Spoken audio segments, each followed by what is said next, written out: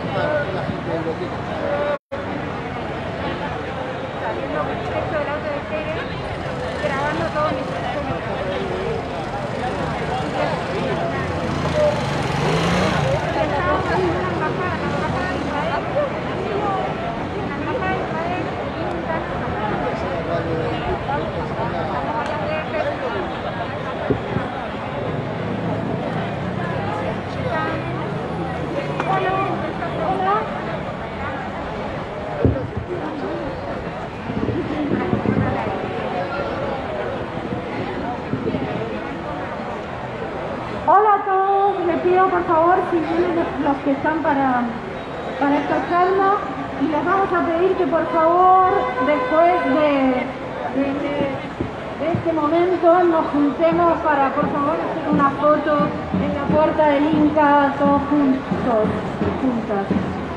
Eh, la idea era comenzar a proyectar un material, pero tuvimos que nos fueron mandando todos los compañeros de las asociaciones de todo el país. Y bueno, lo vamos a compartir después por redes o acá si lo logramos, pero tuvimos unos problemas de conexión y no pudimos.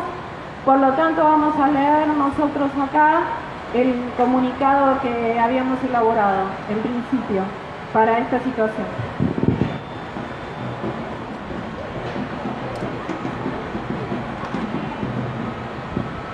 El comunicado se llama El año que vivimos sin el Inca.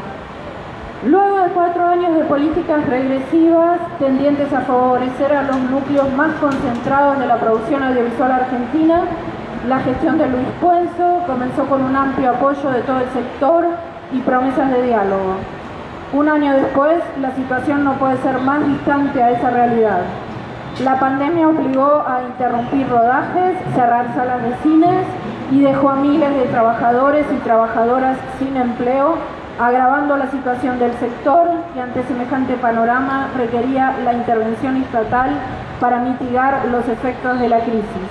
Sin embargo, el Inca no impulsó políticas de emergencias y cerró muchos canales de diálogo y otros que abrió no tuvieron correlato con las decisiones tomadas por la gestión.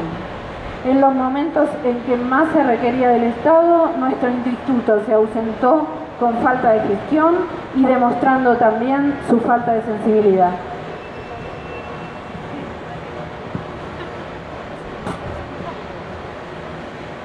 El cierre, el cierre de sala de cine repercutió significativamente en los ingresos del Fondo de Fomento Cinematográfico, poniendo en riesgo la posibilidad de una rápida reactivación cuando las condiciones sanitarias permitan retomar la actividad. Pese a la insistencia y al trabajo de gran parte de la comunidad y pese a existir un proyecto en el Congreso, no se grabó a las OTT para garantizar los recursos para la producción audiovisual en el mediano plazo. Ignorando las diversas propuestas elaboradas por distintas asociaciones, la gestión lanzó tardíamente lanzó tardíamente concursos insuficientes en cantidad y devaluados en sus montos, de los cuales aún no se conocen los resultados. En esta convocatoria se negaron a establecer cupos que contemplen equidad de género en los proyectos ganadores, desoyendo nuevamente múltiples reclamos y desligándose de la responsabilidad del Estado en impulsar políticas para ampliar derechos y superar desigualdades de género, clase y territorio. En términos de exhibición, su política más visible fue poner en riesgo los festivales nacionales, clave para el acceso a un cine diverso de todo el país y para el intercambio profesional en las regiones. Ante la crisis sanitaria, salvo la publicidad de la plataforma Cinear,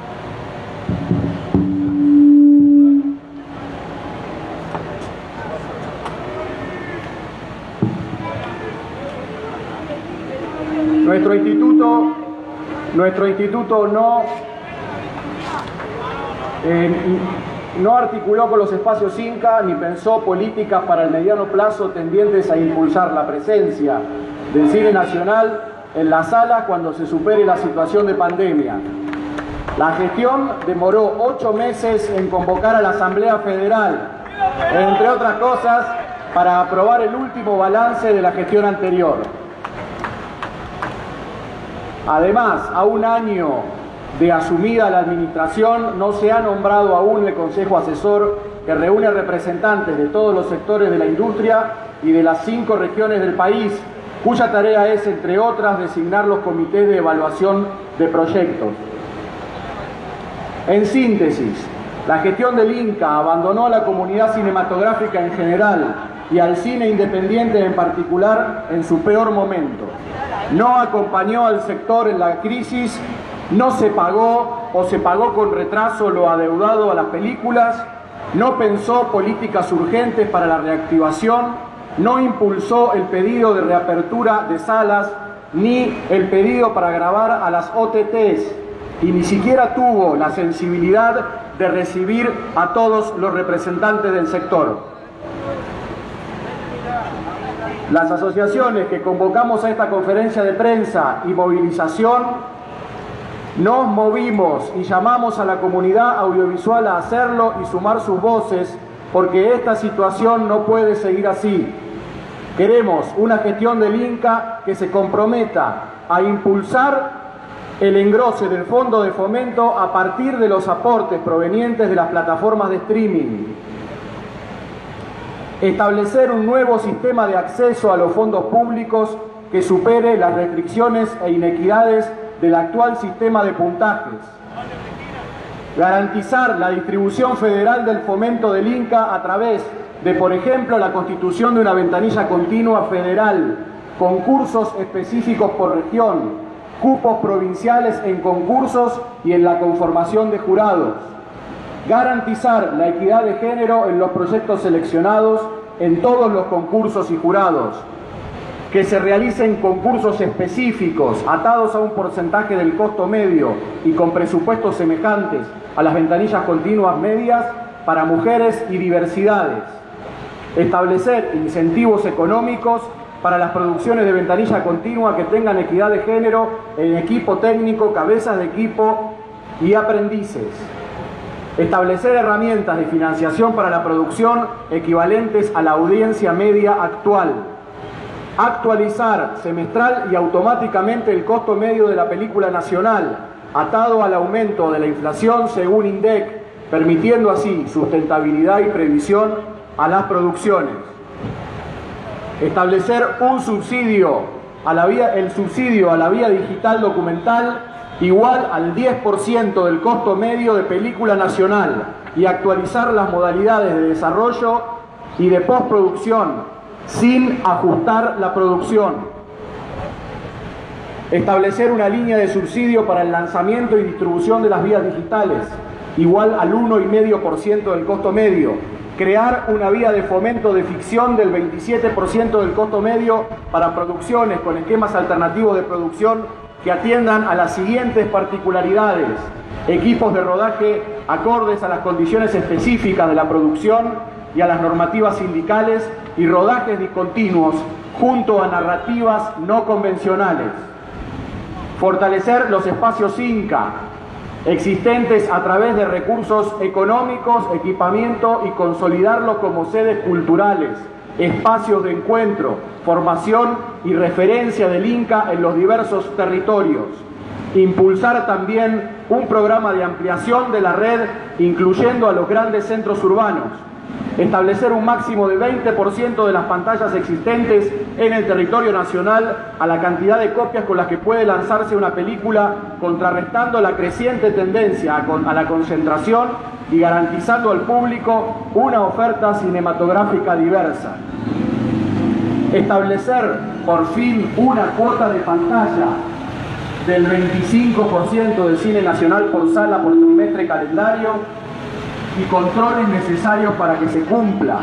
De igual modo para emisiones televisivas y plataformas web, extendiendo el reconocimiento de estrenos a estas ventanas, realizar concursos a proyectos de exhibición, distribución y conservación del cine que incentiven, promuevan y apoyen proyectos generados desde los espacios Inca y alienten el compromiso en la generación de públicos para nuestro cine.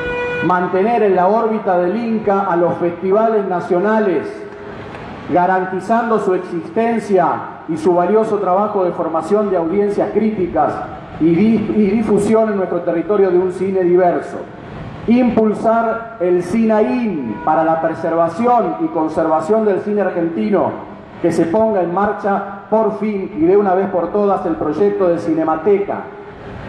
Y finalmente, actualizar y liquidar ya todos los pagos pendientes, incluidos los premios del concurso incubadora. En defensa de una cinematografía diversa en todo el amplio territorio y por nuestro derecho al trabajo, genuino y de calidad, aquí estamos.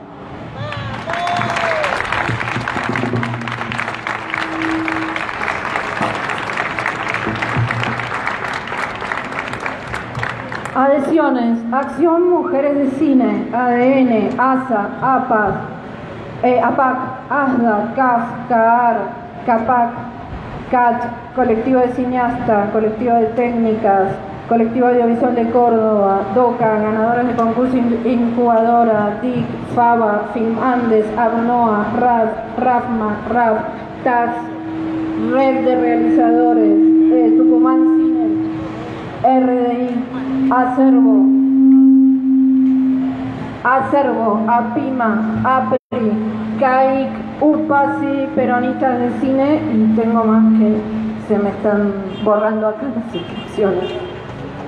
Eh, vamos a leer ahora o hablar ahora de algunos eh, comunicados y posiciones y cosas que quieren comentar en particular algunas asociaciones. ¿Quieres empezar vos, Fran?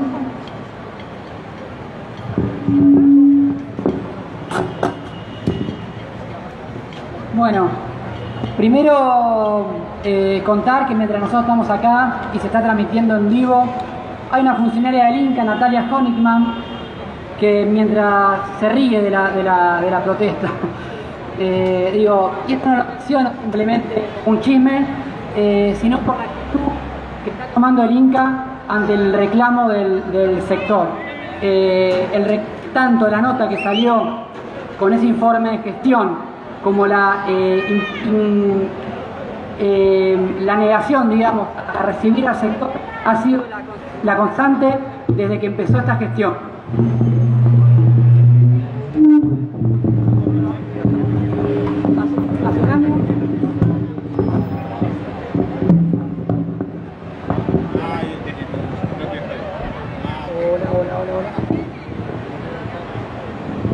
Hola, hola, hola, hola, hola. Hola. Hola. Parte de la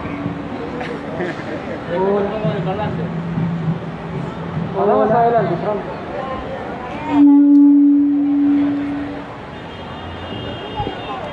Hola, hola, hola. Hace un año la gestión asumía con un discurso en la NER eh, de apertura, de diálogo, un discurso que parecía que se venía otra época, después de, de, cuatro años de una gestión que realmente atacó al cine, particularmente al cine independiente, con un, fondo con un plan de fomento restrictivo, eh, con dificultades para poder acceder a la financiación. Y cuando esta gestión asumió con una propuesta de diálogo, la verdad que desde muchos sectores Hola. Desde muchos sectores hubo cierta expectativa, digamos, en que eh, se, se una etapa por lo menos de diálogo y de construcción colectiva. Acá, como, como se vio en la serie de propuestas que hemos, que hemos traído acá, a lo que, lo que venimos y lo que venimos insistiendo es con un, con un programa, con ciertas ideas, que, eh, con ciertos consensos que se han establecido entre un montón de asociaciones. Eh, y este, estos consensos que se han firmado en apenas cuatro o cinco días de que, surgió, que surgió la convocatoria hasta ahora, se han sumado un montón de asociaciones atrás de un programa, digamos, atrás de una serie de ideas que tiene un sector del cine sobre las cosas que se deben hacer en el INCA. El INCA tiene que tomar todo esto que decimos No, quizás no, porque es verdad que nosotros, digamos que el sector que representamos no es todo el cine nacional, pero sí al menos debemos ser escuchados para pensar y, articular cómo debe ser el INCA, cómo debe ser el Fondo de Fomento, en definitiva, cómo debe ser el cine nacional.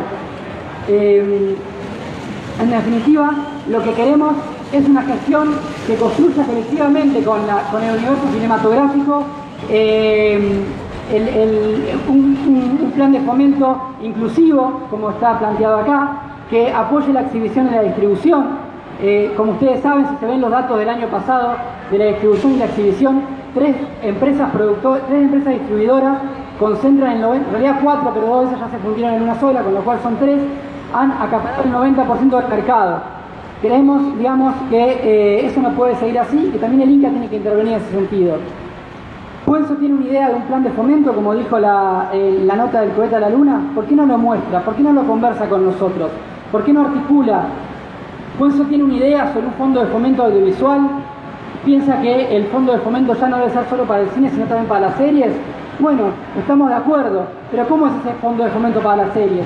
¿Es para hacer series eh, en todo el territorio con una idea de soberanía nacional audiovisual o es para que seamos eh, eh, servicios, digamos, de las grandes plataformas de Netflix, de Amazon, de HBO?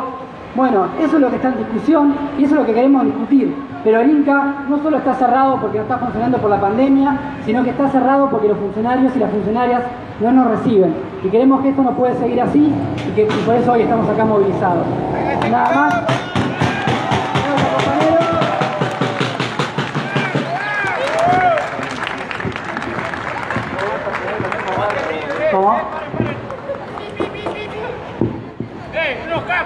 Lo que estamos acá no estamos solamente con un ánimo de crítica que tiene que ver con alguna paranoia destituyente que plantea Puenzo en la nota que hizo pública y que empieza con mucha ironía hablándonos a muchos de nosotros. Algunos de nosotros recibimos el domingo a las nueve y media de la mañana ese informe de gestión de parte del presidente del INCA. Eh, queremos decirle al presidente del INCA que estaría bueno, no tenemos problema en juntarnos incluso los domingos a las 9 y media de la mañana. Nos asombró a muchos de nosotros haber recibido un informe de gestión. Pero también decirle que no queremos un informe, queremos participar, que nos inviten a participar, que ese era el compromiso. Por eso somos solo un grupo de los muchos que habíamos llenado la ENER en un aval inusitado para la historia de cualquier presidente del Inca y para la historia de cualquier gestión del Inca. Es indudable que muchos habíamos depositado mucha confianza, instituciones que por supuesto, o organizaciones que son las grandes organizaciones con las que sabemos que la presidencia del Inca acuerda algunas cosas, que son las que hoy no están presentes. Pero sí habíamos sido eh, muy bien recibidos en esa ocasión, habíamos mostrado nuestro apoyo, había generado expectativas, esas expectativas se desdibujaron, con lo cual no estamos más para pedirle, sino para exigirle a la presidencia del Inca no solo la liquidación de todo lo que falta, sino que queremos saber y que queremos participar de qué es lo que se viene. Acá hay una cosa mucho más grave que lo que nos pasó en este fatídico 2020, que es qué va a pasar en el 2021. Y no lo está exponiendo más que en una acción desesperada de un domingo a las nueve y media de la mañana en una nota al cohete a la luna y a alguna de las organizaciones. Con lo cual, lo que le exigimos a la presidencia del Inca es que nos participe de qué es lo que tienen en mente de acá hacia adelante, porque así no podemos seguir. Evidentemente, tiene una concepción esta gestión en la que divide entre los grandes productores y los artistas. El concepto de trabajadores parece que no funciona y que no lo entiende de ninguna manera. Bueno, nosotros representamos a un montón de trabajadores, este es nuestro laburo, si no hubo respuesta durante el 2020, exigimos juntarnos con la presidencia, exigimos que nos participen porque no podemos estar adivinando qué tiene en la cabeza para el 2021 después de un 2020 que fue fatídico para nosotros. Hola,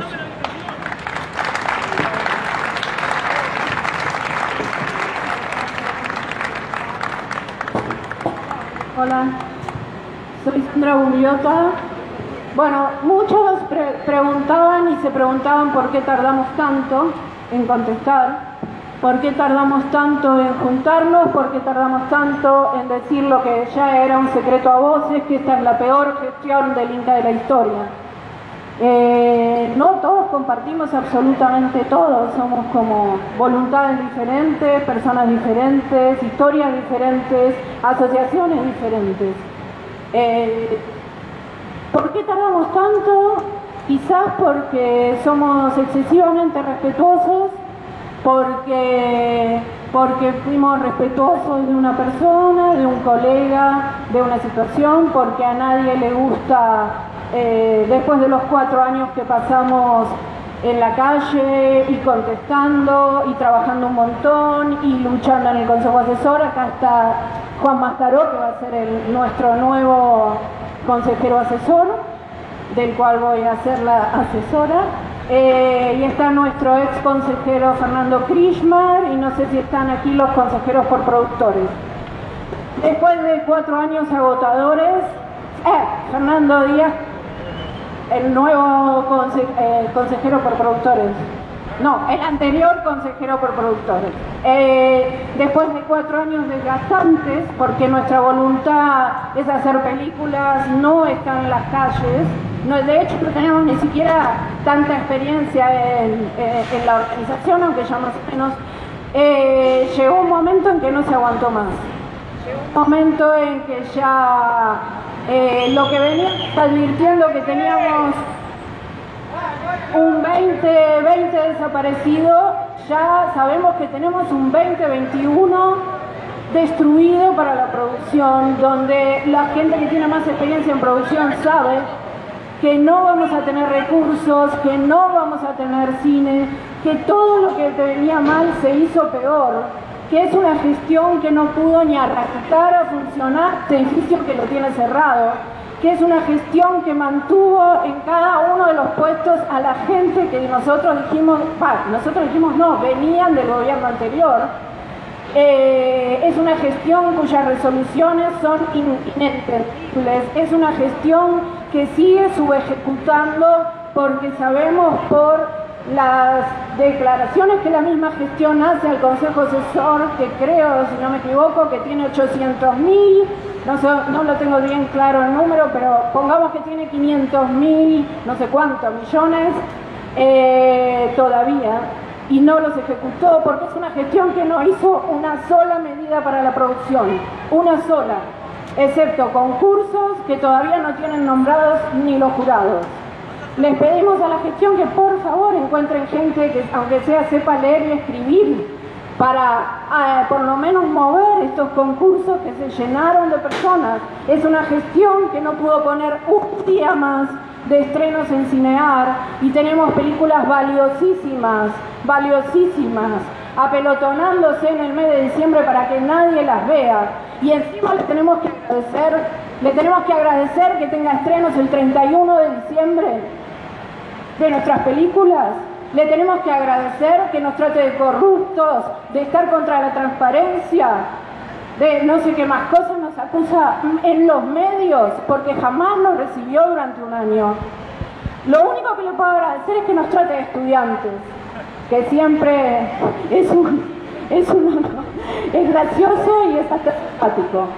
Entonces, creemos también nos demoramos porque muchos de nosotros, sobre todo en mis asociaciones a las que pertenezco, vimos con entusiasmo y con alegría y felicidad el gobierno de Alberto y Cristina. Y porque es complicado y porque queremos que a todo el mundo le quede claro, aunque no somos tantos acá, esto va a ser reproducido, que a todo el mundo les quede claro y no se confundan. Digamos, nosotros, o la mayoría de nosotros, estamos por una cultura nacional, por una soberanía política y audiovisual. Justamente lo que queremos es que no se siga destruyendo el cine y la gestión y lo que se produjo y que fue positivo durante el gobierno de Néstor y Cristina. Entonces, para eso tenemos que volver y de nuevo el eje hacia un cine nacional, hacia una cultura audiovisual y hacia una soberanía audiovisual que no es precisamente lo que estaría sucediendo con esta gestión. Gracias y paso a... Juan. Bueno, hola. No, voy a ser breve. Eh, acá Gustavo quedó algo pendiente por decir y cumplo con completarlo, que además de todo lo que manifestó el INCA también desconoció un protocolo de trabajo que hay para el cine y para el documental desde agosto vigente y aprobado y que no lo puso en funcionamiento y hasta el día de hoy seguimos discutiendo si las películas pueden o no pueden salir a filmar. Es más o menos eso uno. Bueno, me macheteé un poco. Yo quería decir algunas cosas de, vinculadas al documental y algunas cosas generales también. Primero, reivindicar la memoria histórica de la, de la comunidad audiovisual. A nosotros nos parece que con sus altas y bajas, con, con sus flujos y reflujos, este, en los momentos importantes, donde están en juego las cosas importantes, la comunidad audiovisual de nuestro país activa, algunos antes, otros luego, algunos todavía no lo han hecho hoy, nosotros confiamos en que lo van a ir haciendo y van a ir asomando a decir públicamente las asociaciones y los espacios cosas que hoy piensan y hablamos todos los días y a veces aquí y en otros lugares de las provincias también no, no salen a la luz porque no se toma la decisión de salir a mostrar los dientes. Nosotros creemos que sí es momento ahora de salir a mostrar los dientes. Y lo es desde hace un tiempo largo. A diferencia de otros compañeros, desde, la, desde el inicio de la gestión de Puenzo, nosotros veníamos caracterizando que era sí un impulsor de la ley de cine, pero en su momento parte de un sector que no estaba necesariamente por la ampliación de, los derechos en el cine, para que mucha más gente filmara. Siempre hubo un sector en el cine argentino que planteó un cine para pocos y pocas y para consagrados. ¿sí? Y nosotros nos parece que esa es una de las luchas centrales hoy. Centrales, de cara al nuevo plan de fomento y de cara a las disputas por el reparto del fondo de fomento, reivindicamos acá, está en muchos puntos del documento, lo dijo Fran hace un rato, que vamos por la ampliación de todas las variables del cine, para que filmen los nuevos y las nuevas, para que filmen donde no se filmó hasta ahora, hasta en los últimos rincones del país, para ampliar incluso el concepto de lo federal, sacarlo solo de las capitales de las provincias y llevarlo tierra adentro, y para los estudiantes, para los nuevos y nuevas cineastas, o aquellos que hacen una primera película, una segunda y después se quedan sin posibilidades de continuar. Eso es, algo que queremos reivindicar y como, digamos, aún en este contexto eh, estamos para nosotros bastantes hoy aquí eh, participando de esta actividad y que se van a venir otras peleas eh, donde tenemos que ser más y donde tenemos que convocar a más compañeros y compañeras.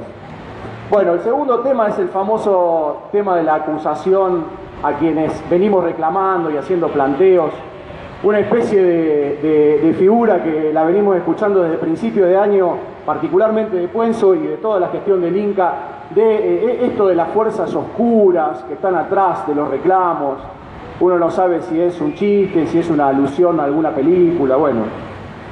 Eh, nos parece que si si hay situaciones de productores o realizadores que estén eh, incurriendo en algún delito o algo con el que el presidente del Inca no esté de acuerdo, él tiene no solo la posibilidad, sino la obligación de denunciar con nombre y apellido a esas personas. Incluso de dar el debate político si le parece que la forma de producción de esas películas no es la adecuada. Pero esto que está pasando es otra cosa. Esto es echar un manto de sospecha sobre toda la comunidad audiovisual y confundir y generar una figura para dividir al, sector audiovisual, ¿sí? entre los que serían dignos e indignos. Y eso es algo que nosotros rechazamos, rechazamos. Nos parece que es una herramienta de persecución a los que estamos luchando y a los que estamos planteando cambios urgentes en el INCA.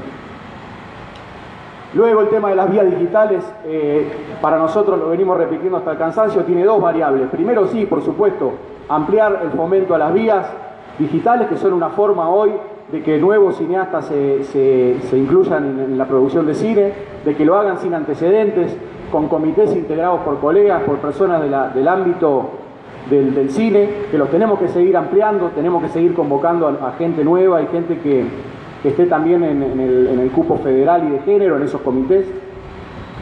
Pero también tenemos que pensar que las películas no pueden pararse, que las películas no pueden salir hoy aprobadas por un comité y empezar a cobrar el año que viene o en dos años.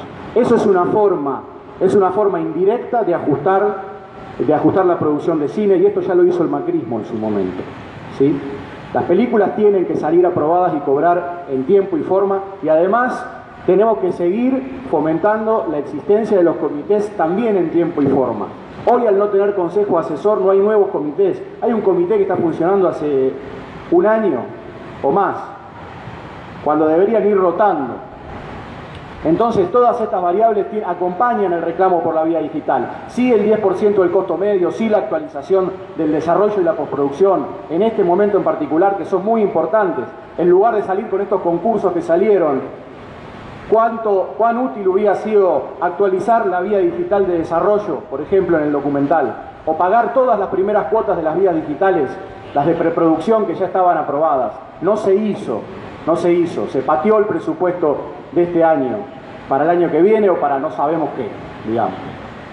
Eh, pero tampoco ajustar la producción, sí, ampliar el fondo, ampliar el fomento al cine documental y no reducir la cantidad de películas. Lo decimos porque ya hay algunas ideas del fondo de fomento que están circulando que hablan de un modelo con el que no estamos de acuerdo, que es centralmente de concursos.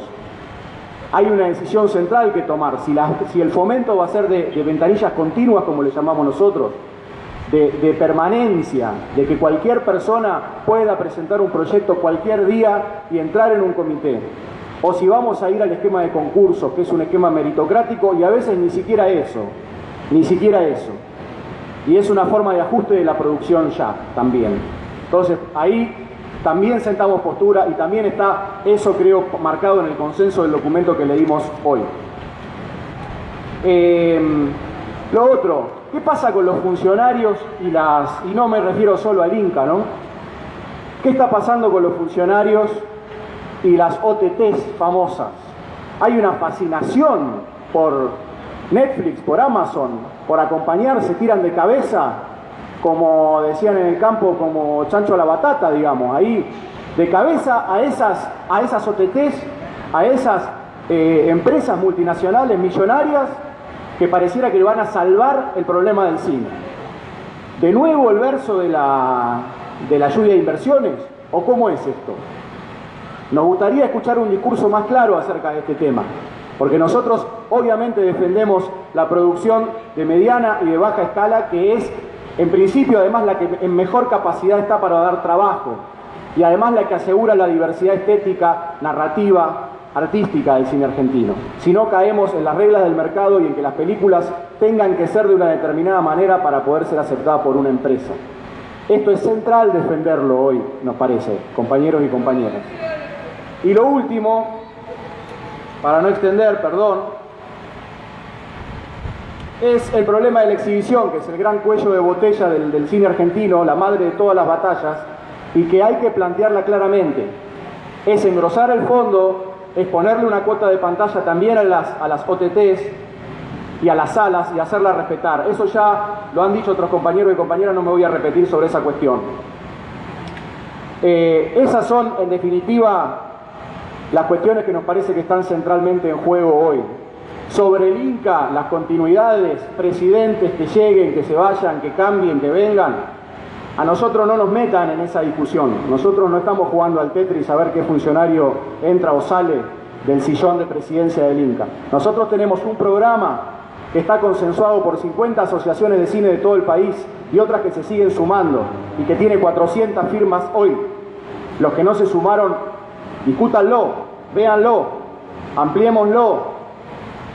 No vayamos solo por los nombres, si, si hay una interna, interna del gobierno, de quien sea, a nosotros no nos pongan en ese juego.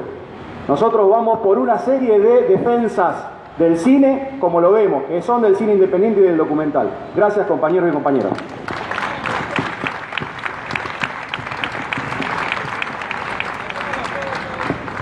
Vamos a leer un comunicado de adhesión de PIMA. Vanessa. Gracias. Bueno, voy a ser breve. Eh, Voy a leer unas palabras que hicimos con mis queridísimos compañeros de APUBA. En un gobierno para todos, la gestión actual del Inca es para nadie. El Inca debe proteger y fomentar, el Inca debe proteger y fomentar nuestro cine. Tras cuatro años de vaciamiento, este año esperábamos que las cosas cambiaran el rumbo, pero se profundizó en el plan de destrucción de nuestra industria, sosteniendo incluso gerentes de gestiones anteriores. Se nos acabó la paciencia. Exigimos cambios urgentes en la presidencia de India y que reconstruya nuestro cine. No sé quién sigue. ¿Alguien de Apima quería decir algo más? No,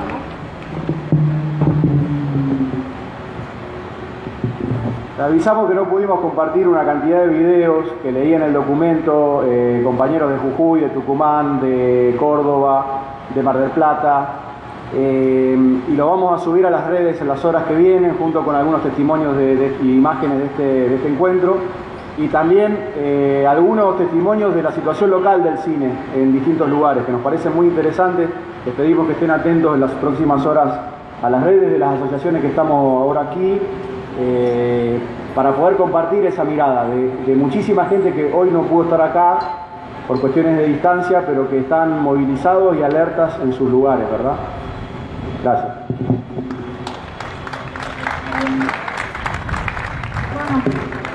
voy a leer, salvo que alguien quiera leerlo, eh,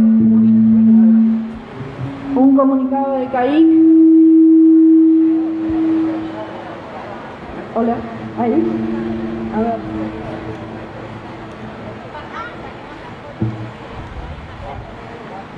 Lamentablemente es un comunicado de CAI, Asociación de Productores, un comunicado de adhesión. Lamentablemente el Inca no quiso o no tuvo la imaginación, la voluntad o la decisión política para disponer herramientas que ayudaran al sostenimiento de las productoras y mitigar, a mitigar el, impacto de un año económicamente terrible. El Estado Nacional debe abogar por un tratamiento industrial del sector que lo consolide como una actividad estratégica, generadora de valor agregado y exportadora, a la altura de, la capacidad, de su capacidad instalada, de sus recursos humanos de primer nivel y de una tradición cinematográfica por derecho propio todas ellas características de un tejido productivo que hoy está en riesgo de, desaparecer. Por todas estas razones y otras específicas de distintos colectivos de todo el país, el que el sector se moviliza hoy frente al INCA. Como CAIF nos hacemos ecos de la situación gravísima que atravesamos y de la falta de diálogo y de respuestas satisfactorias a lo largo de todo este año por parte de la gestión actual del INCA. Eh, les, les pedimos si pueden acercarse para si sacamos una foto para redes.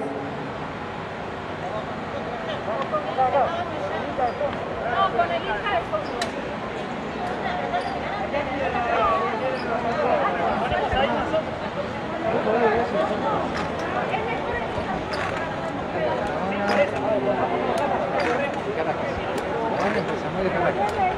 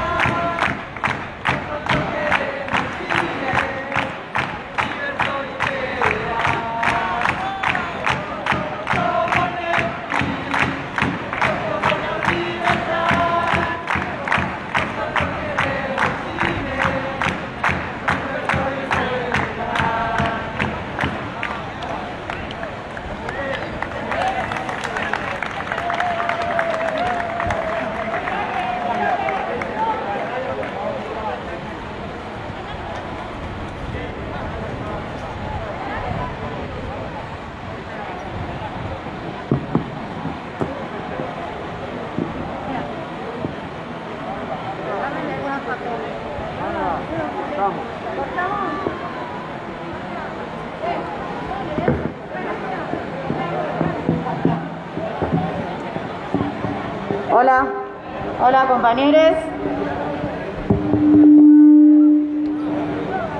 Hola, ¿me escuchan? ¿Se escucha ahí? Bueno, yo soy Lucía.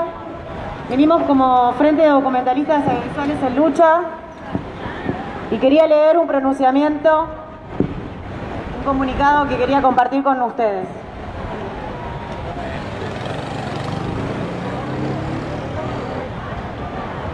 Hoy es indiscutible que el Inca estuvo paralizado y ajustado, ajustando durante todo 2020. También que los trabajadores audiovisuales fueron abandonados en la desocupación forzada. Esta convocatoria de hoy, así como la radio abierta realizada la semana pasada, son la expresión de un hartazgo en el campo de los realizadores y técnicos.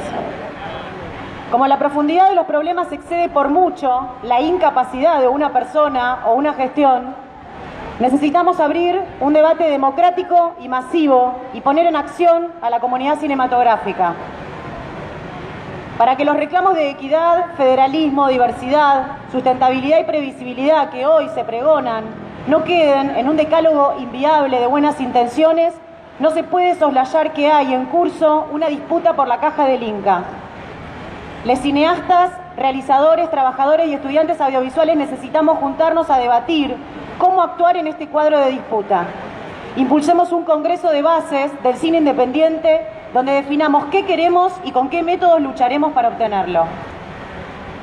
La pandemia aceleró el debate de las nuevas majors del streaming, tanto en el desplazamiento de la producción de películas hacia series como en el consumo e incluso estreno de películas a través de las plataformas. Las OTTs reclaman para esta nueva actividad una parte de los fondos del Inca. Puenzo, incluso antes de la pandemia, ya les había prometido lo suyo, a cambio de la derivación de una parte del IVA que triplicaría el fondo de fomento. De esta forma, las OTTs no ponían un peso de sus ganancias, pero sí pasarían a cobrar por ventanilla el fomento de sus negocios. Varias directivas de asociaciones y sindicatos del sector apoyaron esa orientación, que además de exonerar de aporte alguno las ganancias de Netflix, HBO, Amazon, etc., se terminó demostrando inviable. No podía prosperar que las provincias cedan parte de su coparticipación federal para el Inca en el marco de las reformas estructurales que el gobierno se apresta a implementar de la mano del FMI, donde el ajuste fiscal es la clave. Ese fracaso en conseguir la triplicación del fondo de fomento acrecentó la parálisis y el ajuste, al punto que ni se dio a conocer el borrador de nuevo plan de fomento y no hubo ni la escucha ni el diálogo pregonado. La verdad es que el Inca siempre fue mayormente una caja para subsidiar mercancías culturales y bastante cerrada a directores o productores con antecedentes. Solo la gran lucha y conquista que significó la vía digital documental rompió con esa lógica y abrió el camino para que cientos de nuevos realizadores contaran con fondos para producciones que no tenían un fin exclusivamente comercial. Hoy, frente a la manta corta de la crisis, está planteado defender esta conquista y ampliarla también al campo de la ficción. Los fondos públicos del Inca deben ser para proyectos con fines artísticos, culturales, sociales, no para financiar negocios de empresas con sobrados recursos para manejarse sin ayudas. En la última revista de DAC se propone un 25% del fondo de fomento para las grandes producciones vinculadas a canales de televisión, 50% para producciones de costo medio y 25% para bajo costo. Y especifican que su foco está puesto en defender ese 50% de las producciones de costo medio. ¿Qué proponemos desde el cine independiente? ¿Estamos de acuerdo en que Patagónico Telefe reciban plata del Inca? ¿Cómo deben conformarse las vías? ¿Cómo debe designarse el presidente del Inca? ¿Cómo deben elegirse los comités de evaluación de proyectos? ¿Qué porcentaje del fomento debe ir a producciones independientes de los grandes medios y empresas de distribución? ¿Cómo se garantiza que en todas las producciones con apoyo del Inca se pague a los técnicos que, lo que establecen los convenios colectivos? ¿Cómo se establece una política agresiva de difusión y exhibición de cine independiente en salas y en plataformas? ¿No deberían las OTTs poner un porcentaje de sus ganancias para aumentar el fondo de fomento y o crear un nuevo fondo de fomento para series nacionales? Para debatir estas y otras cuestiones convocamos a construir conjuntamente un Congreso del Cine Independiente a realizarse el primer semestre del año que viene. Que se pronuncien y apoyen las asociaciones, que lo hagan las bases, los que no pertenecen a ninguna asociación, les directores, productores, les estudiantes, les técnicos. Frente Documentalistas y Audiovisuales en Lucha. Gracias. Antes de cerrar, ya cerramos. Quiero leer de las compañeras de acción, con quien eh, agrupación a la que también pertenezco, un breve párrafo. A contramano de lo que debería haber sucedido, las nulas las malas o nulas decisiones de la conducción del Inca han boicoteado cualquier posibilidad de desarrollar nuestros trabajos mientras el mundo demanda más y más contenidos se ha perdido una oportunidad histórica de crecimiento del sector y es hora de revertir definitivamente esta desesperante realidad. Bueno, cerramos, Fran, Juan, cerramos chicos. Bueno, gracias a todos, cerramos.